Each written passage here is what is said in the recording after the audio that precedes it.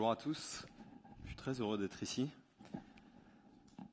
Alors j'ai 5 ans, je regarde un championnat d'athlétisme à la télé et euh, je dis à mon père, tu sais papa, plus tard, je ferai les Jeux olympiques. Mon père se lève, va dans la cuisine et la suite, je vous la raconterai un petit peu plus tard.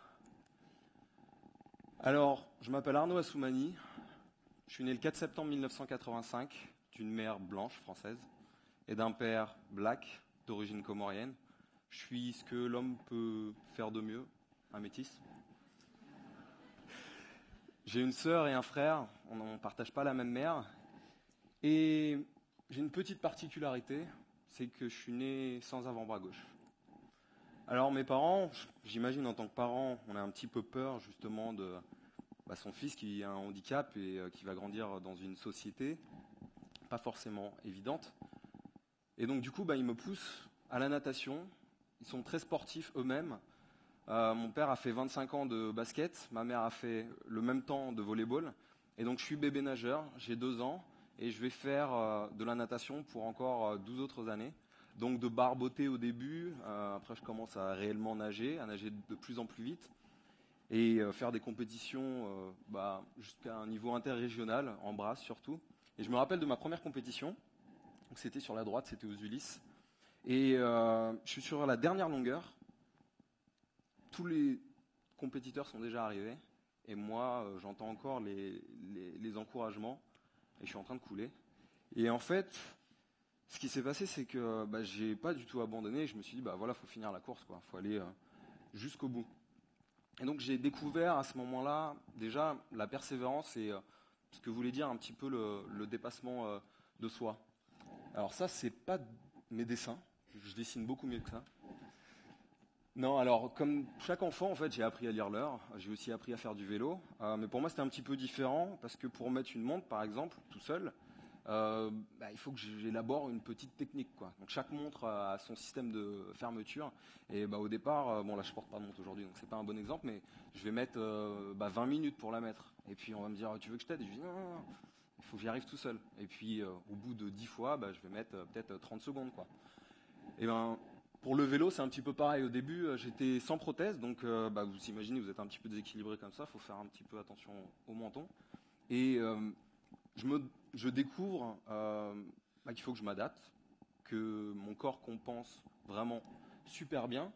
Et ça, c'est des qualités qui vont, euh, qui vont me suivre un petit peu plus tard. Alors juste avant, je reviens là-dessus parce que j'ai pas fini. Je suis un, je suis un passionné de sport. Euh, donc je fais de la natation, mais je fais jusqu'à trois sports en même temps, de basket, tennis de table, et puis je pouvais faire un match de foot avec les, les amis entre temps. Mais ce que je voulais réellement faire, c'était l'athlétisme. Et donc mes parents, euh, divorce malheureusement. Je me retrouve à vivre seul avec ma mère du côté d'Angers, à Rochefort-sur-Loire, dans un village. Je suis le seul black avec un handicap. Donc euh, voilà, c'est euh, un changement de vie puisque j'avais, je suis né et j'ai grandi en région parisienne. Et donc il m'autorise à 12 ans à faire de l'athlétisme parce qu'avant il pensait que c'était trop traumatisant. Et donc là, ben, je suis super content en fait parce que bon, je touche à tout, je suis avec les potes, on s'amuse et tout mais je suis bon en fait dans la discipline euh, que j'aime, c'est-à-dire euh, les châteaux de sable. Le saut en longueur, vous suivez pas très bien quand même. Hein. Euh, et, donc, bah, voilà, je, progresse quoi, et surtout je m'amuse. Donc de champion départemental, je suis champion régional après, champion interrégional. Et en 2002, je raccroche définitivement la natation. Et je me dis, bon, maintenant je me consacre exclusivement à l'athlétisme parce que voilà, j'adore ça quoi. Et donc la même année, je participe pour la première fois au championnat de France euh, jeune euh, à Angers, euh, et je termine dans les 10 meilleurs Français. Alors avec mon entraîneur de l'époque, Gaël Gonzalez, on se dit mais peut-être que ton niveau est intéressant par rapport voilà, au handisport, au monde paralympique. Alors moi, je ne connaissais rien du tout. Ce que je voulais faire, c'était de l'athlétisme. Je voulais pas forcément faire de l'athlétisme avec des gens qui me ressemblent, avec des gens. Euh, j'avais pas de, dread à l'époque, mais avec euh, des gens métis ou avec quelqu'un euh, qui a un avant-bras en moins, par exemple. Donc on va au championnat de France et là en fait on se rend compte que le niveau que j'avais en valide m'amenait déjà dans les trois meilleurs mondiaux. Et bah, de là, je fais ma première sélection en 2003 pour les championnats d'Europe où je remporte trois médailles d'or, donc c'était juste énorme pour moi. Mais surtout, je découvre réellement un nouveau monde, le monde paralympique, et également le monde avec des personnes qui ont un handicap. Et je crois que j'ai jamais eu autant de plaisir en fait à être avec des gens. Je me suis jamais autant amusé. Euh, il y a une dérision folle, on se chambre énormément. Et surtout, euh, en fait, euh, bah, on voit déjà aussi des personnes avec des handicaps beaucoup plus lourds, des personnes qui sont amputées des quatre membres ou autres. Et au départ, bah, ouais, c'est pas forcément évident. Moi, je me suis jamais considéré handicapé. Et ce que je me rends compte, c'est que eux, c'est exactement la même chose, quoi. Ils sont jamais considérés handicapés. Et c'est assez marrant parce qu'en fait, à ce moment-là, je me suis dit, en fait, ça me renvoie à mon propre handicap. Mais voilà, j'avais 17 ans, je me levais tous les matins et donc je me voyais bien dans le miroir. J'ai eu aussi des moqueries au collège où à des moments ça n'a pas été forcément évident. Mais voilà, ça me renvoyait mon handicap. L'année d'après, ma première sélection, je participe aux Jeux paralympiques d'Athènes. Donc Jeux paralympiques euh, pour moi c'était juste euh, monstrueux. J'ai à peine 19 ans et bah, cérémonie d'ouverture, 70 000 spectateurs. On est comme ça dans le, dans le couloir juste avant de rentrer et voilà, on a les yeux qui brillent. C'est vraiment, c'était vraiment hallucinant. Et donc, bah, je décroche une médaille de bronze pour ma première participation avec 6m91. Euh, sur le moment, je suis déçu en fait. Parce que euh, bah, je venais de faire 7m11 cette année-là, et donc je me disais, ouais, c'est pas terrible.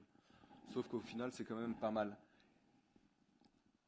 Mais je découvre aussi euh, bah, ce dont beaucoup de sportifs sont pas victime, mais euh, vive avec euh, la, blessure. Et donc je vais avoir pendant trois autres années, j'ai une blessure au dos, et on ne sait pas réellement ce que c'est, donc je vais rechercher. Mais euh, c'est une période où je vais devoir justement ben, faire un travail aussi mental. Je n'avais pas de coach mental à, ce moment-là, mais je devais avoir un équilibre en tout cas. Donc je ne vous ai pas parlé des études, mais la priorité pour mes parents a été toujours les études, de me dire, bah, dans tous les cas, c'est pas le sport qui te fera vivre, donc il faudra bien travailler. Donc bah, j'ai eu un cursus assez classique, j'ai fait un bac scientifique, après je suis arrivé à Paris, j'ai poursuivi euh, des études euh, dans l'audiovisuel, je suis monteur vidéo de formation et euh, j'ai découvert la créativité d'ailleurs, j'étais créatif, que, une qualité que je ne pensais pas avoir.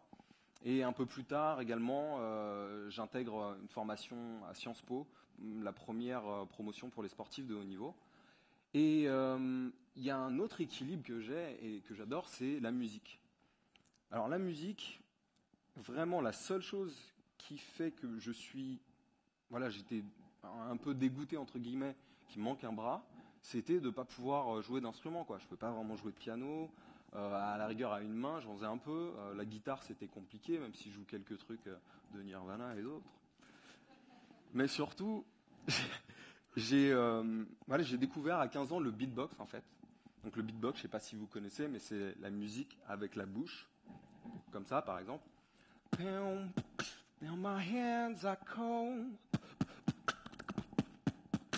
Donc bon voilà. Et la musique, je découvre aussi par mon cousin Clément la batucada, donc le samba, et euh, un instrument percussif qui s'appelle le répinique, qui ressemble, donc, comme vous voyez, à une grosse caisse claire, et ça se joue en fait avec une baguette et la main. Et quand je vois cet instrument au Carnaval euh, tropical de Paris, je me dis waouh, c'est excellent, je suis sûr que je peux jouer de cet instrument-là. Donc du coup, je commence une école de samba et euh, mon objectif était au bout d'un an, de rejoindre Sambatouk, qui était à l'époque en fait euh, le meilleur euh, groupe sur Paris. Il faut entre deux et trois ans normalement pour y arriver. Donc je me dis bon allez, je vais travailler dur et puis j'espère que ça va le faire quoi. Au bout d'un mois de débutant, je passe à avancé, personne qui joue depuis un ou deux ans. Et au bout de trois mois, à ma plus grande surprise, euh, bah, j'ai le maître de batteria, le chef d'orchestre, qui me dit euh, Ça te dirait pas de, venir jouer avec euh, Sambatouk Je dis Bah ouais, carrément, c'est énorme. Donc du coup, j'ai été jouer avec eux. Et au bout de neuf mois, pour la fête de la musique, on a décidé d'organiser voilà, la fête de la musique Place d'Aligre à Paris. Et je me suis dit Je pense que je peux diriger, j'ai jamais fait. Mais bon, je vais apprendre un peu et puis ça devrait le faire. Et en fait, on s'est entraîné pendant trois mois et euh, le résultat était juste, euh, était juste euh, monstrueux. Donc en cette année-là, et pendant cette période où justement je suis en train de me reconstruire mentalement, je me reconstruis également physiquement. Je n'ai toujours, pas compris pourquoi j'avais des soucis au niveau du dos. Mais j'ai accepté ces soucis-là. J'ai fait le maximum que je pouvais faire justement pour euh, vivre avec et puis soulager la douleur. J'intègre un groupe professionnel. À l'époque, c'était avec le Team Lagardère et je m'entraîne avec Guillaume Tanon, qui est, qui est le, meilleur entraîneur de, de, sprint français. Et bah, à partir de ce moment-là, je repars un petit peu d'une feuille blanche en fait. Je me dis, j'ai pas de limite, j'ai plus de record, et surtout, j'ai en ligne de mire Pékin et remporter la médaille d'or.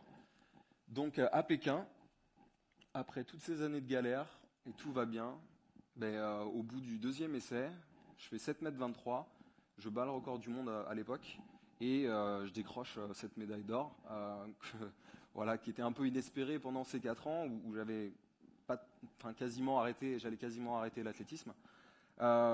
C'était juste dingue parce que bah, le nid d'oiseau, comme vous le pouvez le voir, était archi comble. Il y avait 90 000 spectateurs. Bon, les gens ne connaissaient pas tellement l'athlétisme. Hein. L'État avait dit allez, euh, il faut que les, stades soient remplis. Qu'importe, l'ambiance était quand même folle pour moi et euh, ils ont quand même dû me virer après euh, mon tour d'honneur parce que je restais trop longtemps. Quoi. Ils dit ouais, t'es sympa le français là, mais bon. À partir de ce moment-là et cette médaille d'or, il y a vraiment eu un déclic. Euh, lorsque j'étais sur le podium, la Marseillaise, alors il y avait un petit manque, c'était euh, ma famille. Ma famille ne pouvait malheureusement pas être présente, euh, ni les amis. Mais ce rêve justement que j'avais en moi de vouloir participer aux Jeux Olympiques, qui est vraiment un rêve d'enfant, s'est progressivement transformé en fait. Et je me fixe à ce moment-là l'objectif de participer aux Jeux Olympiques et aux Jeux Paralympiques, euh, ce qui à ce moment-là, toujours, euh, enfin ça s'est jamais fait au niveau français et au niveau international. Oscar Pistorius l'a fait euh, en 2012. Donc pour vous situer, je vous ai dit 7 mètres 23 record du monde à ce moment-là. Pour se qualifier à Londres, il faut que je saute 8 mètres 20. Donc ça fait 1 mètre, un petit peu moins, 97 cm, pareil. Et c'est réellement un monde en son longueur. Mais je suis confiant et euh, je dois vous avouer quelque chose d'ailleurs à, ce propos. Et enfin ça, je j'en ai jamais parlé réellement. C'est que depuis tout petit, j'ai une croyance. On parle beaucoup de religion. C'est que euh, quel que soit mon objectif et quel que soit ce que je veux faire plus tard, je me dis que quoi qu'il arrive, j'y arriverai. Je ne sais pas d'où ça vient. Peut-être le fait que j'ai dû m'adapter toute ma vie par rapport à voilà, cette petite particularité. Toujours est-il que, je sais que c'est possible et que je vais y être, quoi. Donc, euh, entre 2009 et 2010, je connais ma plus grande progression. De 7,23 m, je bats de multiples fois le record du monde pour sauter 7,75 m à la fin 2009. Et je saute 7,82 m l'année d'après euh, à Bercy au championnat de France élite valide. J'aime pas dire valide en e-sport, pour moi c'est pareil. Je suis spécialiste de son longueur et pas de handicap. Et je termine sur la médaille, euh, pardon, je termine sur la troisième marche du podium. Et pour moi, c'est assez énorme parce que, bah, d'une, symboliquement, c'est fort pour voilà, euh, dire oh, c'est génial, le premier athlète euh, avec un handicap, etc. Mais surtout, je montre que bah, les gars, il faut raconter sur moi. Je serai là dans deux ans. Et en 2012, euh, alors l'année d'après, en 2011, euh, je progresse encore. Euh, je saute à 7,91 m avec un petit peu trop de vent. Je mords pour la première fois des sauts à plus de 8 mètres. 8 mètres 10, 8 mètres 15 peut-être. Mais toujours est-il, c'est mordu. Alors juste pour vous dire, le saut en longueur, il y a une course d'élan, on saute, mais il y a une petite contrainte, c'est la planche. Il ne faut pas mordre, il y a une plasticine. Et donc malheureusement, bah, des fois je mordais de 2 cm, des fois un peu plus. Vaut mieux pas trop y penser parce que sinon c'est un petit peu dur. Et donc en 2012, en fait, euh, j'ai l'idée de lancer un concours qui s'appelle Golden Arm et qui est pour customiser euh, ma prothèse de, course, de compétition. En parallèle, j'ai fait des recherches avec des biomécaniciens pour améliorer mon équilibre justement par rapport à cette prothèse. Et je me dis ouais, ça peut être super cool quand même euh, si voilà, elle a un aspect un peu fun et le thème c'est super héros. Donc vous pouvez faire un peu ce que vous voulez. Si vous voulez, vous pouvez faire un truc un peu à la tronc ou euh, ce que vous voulez. et donc pour moi, c'est vraiment passer le message que, bah voilà, emmener le handicap là où on l'attend pas forcément, c'est-à-dire dans un milieu créatif et positif, et euh, également dire que, bah, en fait, euh, les prothèses, c'est cool, quoi. Il y a des choses que vous pouvez pas faire, par exemple du baseball. avec votre bras. Ou masser vos potes, un peu mal au dos. Ou également se séparer d'elle lorsqu'elle vous énerve. Je vois que certains messieurs là sont, aimeraient bien faire ça de temps en temps. En 2012, donc, je veux briser des barrières et en même temps, j'ai une grosse pression médiatique. J'ai des sponsors qui me permettent de vivre et de m'entraîner dans les meilleures conditions. Euh, je commence à avoir des problèmes avec mon entraîneur, avec qui ça se passait très bien, on a une mauvaise relation. Et euh, en même temps, bah, voilà, je, je, reconnais des blessures. Donc c'est pas la situation idéale. Et à 10 jours des championnats de France, je me blesse gravement au tendon d'Achille. Je ne sais pas encore ce que j'ai. Mais les championnats sont à Angers. C'est mon objectif. Donc euh, voilà, je, sais pertinemment que je vais y arriver. Je dis c'est pas un tendon qui va faire que ça va, ça va mal se passer. Et donc euh, à Angers, dès l'échauffement, j'ai mal et je me dis bon allez accroche-toi, ça, ça, va le faire.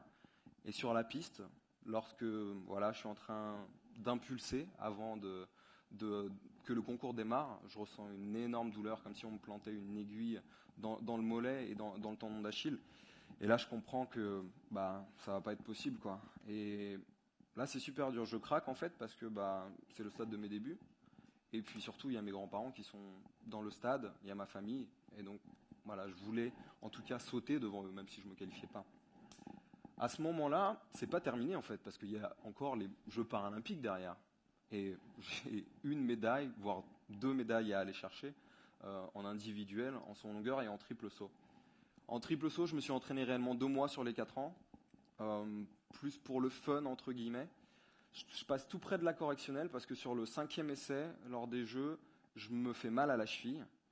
Et sur le dernier essai, j'arrive à, je ne sais pas comment, me déchirer et euh, je remporte une médaille d'argent. Donc à Londres, vous me voyez, j'ai le sourire à gauche avec cette médaille d'argent. Et le lendemain, deux jours plus tard, pardon, je retrouve le même Chinois qui m'a battu pour le triple saut en son longueur. Et donc là, je sais que ça va pas être la même chose du tout parce que il est sur mon terrain, avec tout ce que j'ai vécu, c'est pas possible que tu gagnes, quoi. Sauf que le chinois, il saute 7 mètres 15. Je commence le concours à moins de 7 mètres. Quelques jours avant les championnats, j'avais sauté à 7 mètres 50 et je m'étais dit, bah, je suis revenu à mon meilleur niveau. Et là, je suis un peu perdu, je comprends pas. Et en fait, je suis de nouveau dans le rouge, je suis fatigué. Et pour la première fois de ma carrière, je dois avancer mes foulées. Je dois être plus près de la planche parce que euh, j'arrive fatigué, quoi. Donc de 19 foulées qui est mon élan complet, je passe à 15 foulées, puis à 13 foulées. Et donc je saute 7 mètres 06 sur le quatrième essai. Je me dis allez, allez, tu peux le faire quoi. Il reste, voilà, il te reste deux essais, fais-le quoi. Et sur le dernier essai, tout le monde se lève dans les tribunes et euh, croit que j'ai gagné. Et en fait, je réalise 7 mètres 12 et je suis troisième quoi. Donc pour moi, à ce moment-là, ça tombe un petit peu comme un coup près, comme un deuxième échec euh, vraiment difficile à avaler. Sauf qu'en réalité, c'était pas pas le plus difficile pour moi. Ce qui était le plus difficile, c'était que je sautais devant ma famille et que je voulais les, rendre fiers et pour moi, ça passait par une médaille d'or. Sauf qu'en, qu'en réalité, c'était pas vraiment ça euh, le plus important. J'ai mon oncle qui est venu me voir et qui m'a dit euh, merci, merci Arnaud. J'ai dit qu'est-ce qu'il me raconte euh, Je viens de faire deuxième. merci pourquoi? Il me dit merci parce que il me dit bah moi ça fait 15 ans que j'ai pas vu ton père et que j'ai pas vu ta sœur et grâce à toi, nos deux familles sont réunies. Et c'est là que j'ai compris que, bah voilà, en fait, tout le monde était fier de moi. Et puis, il n'y avait que moi qui, était réellement triste. Et que c'était pas, c'était vraiment pas euh, l'essentiel. Le point positif par rapport au jeu, et, et, qui me dépasse en tant que personne et que mes objectifs, c'est que j'ai été élu au Conseil des athlètes au sein du Comité international paralympique, donc pour représenter avec neuf autres collègues tous les athlètes du monde entier. Donc ça, c'est une réelle fierté et on fait réellement quelque chose qui a du sens, pas pour soi-même, mais pour les autres. Après tous ces événements et ces quatre ans de dur travail, je prends des vacances et je vais pour la première fois aux Comores euh, avec mon cousin, mon frère, euh, et puis euh, bah, je découvre, je suis accueilli comme un héros national et je découvre un pays incroyable de tolérance et je comprends un petit peu mieux d'où vient mon métissage déjà parce que c'est un pays qui est très très métissé. Et on vit des choses exceptionnelles. Je ne pourrais pas vraiment vous en parler. Là, je pourrais vous en parler pendant des heures. Mais maintenant, voilà, quoi d'autre? Est-ce que euh, je continue? Oui, je continue, bien sûr. J'ai pas réussi, c'est un échec, mais j'apprends de mon échec. Et le but pour moi, voilà, c'est de me tourner vers Rio 2016 et j'ai toujours le même objectif. Est-ce que je vais réussir? J'en sais rien. Par contre, je pars sur la route pour de nouveaux. Vous connaissez pas ça? C'est des voitures automatiques, ça. tu peux dormir et tout. C'est mieux que la Google Car. Et donc, je m'envole vers les États-Unis, vers des meilleures conditions d'entraînement. Je m'entraîne au centre olympique à Chula Vista avec ce groupe un peu crazy. Voilà, vous pouvez voir, le cadre est pas trop mal. Et je m'entraîne parmi les meilleurs athlètes du monde. Euh, Will Clay, pour ceux qui connaissent, double médaillé olympique, euh, longueur et triple, saut. Britney Rees, euh, la seule femme à avoir remporté trois fois championnat du monde en son longueur, et qui est championne olympique. Et je suis le seul en fait athlète à pas avoir réussi à sauter 8 mètres. le loser. Et donc aujourd'hui, bah, je continue en fait à garder ce personnage pour faire vivre un petit peu mon aventure américaine euh, à mes proches et à ceux qui me suivent et ceux qui le veulent. Euh, ça s'appelle Golden Arm avec Golden Vespa, donc euh, la prothèse créée par Thomas Ourdin, le gagnant du concours. Et je fais ça sous forme de petits épisodes. J'essaye d'utiliser mes compétences de monteur, ce que j'aime, la musique, etc., pour avoir un truc assez rythmé, assez punchy. Voilà, pour faire vivre bah, l'athlétisme, pas que, quoi. Juste bah, ce que c'est que la vie de sportif de haut niveau est un peu loin des clichés qu'on peut, euh, avoir. J'ai 5 ans, je regarde un championnat d'athlétisme à la télé, et lorsque je dis à mon père, euh, plus tard, je ferai les Jeux Olympiques, papa, il part dans la cuisine. Et donc la suite que je vais vous raconter m'a été racontée par mon tuteur de Sciences Po. Mon père, euh, assez pudique et qui montre peu ses émotions, et aussi la personne la plus optimiste que je connaisse, me l'aurait jamais dit, quoi. En fait, il est parti dans la cuisine pour pleurer. Il s'est, il s'est dit, parce que mon fils a un handicap, ce sera pas possible. En réalité, toute ma vie, j'ai euh, eu des compétences, comme chacun d'entre vous avec vos expériences. Et ces qualités, pour l'instant, je les mets au service du sport. C'est assez personnel, assez égoïste, on va dire, mais le but, c'est justement de pouvoir utiliser ses qualités, ses compétences développées aussi au service des autres et pour pouvoir redonner. Et durant, durant tous ces moments-là, ce qui est le plus important, en fait, c'est que le rêve emmène bien au-delà de même notre simple rêve, sans qu'on l'ait forcément touché. J'ai fait des rencontres exceptionnelles durant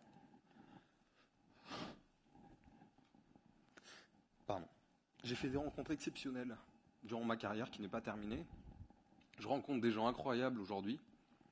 Et ces personnes-là qui étaient en Argentine, qui ont eu un accident tragique, elles pourraient être à ma place pour vous raconter leur parcours, très fort également, et qui pourraient vous inspirer. Donc je suis simplement un sportif de haut niveau, je pourrais être quelqu'un d'autre, qui vous raconte mon parcours. Et voilà, si je peux vous éclairer la seule chose que j'ai à dire, c'est que la différence est une force et que nos différences peuvent nous amener au-delà du possible. Merci beaucoup.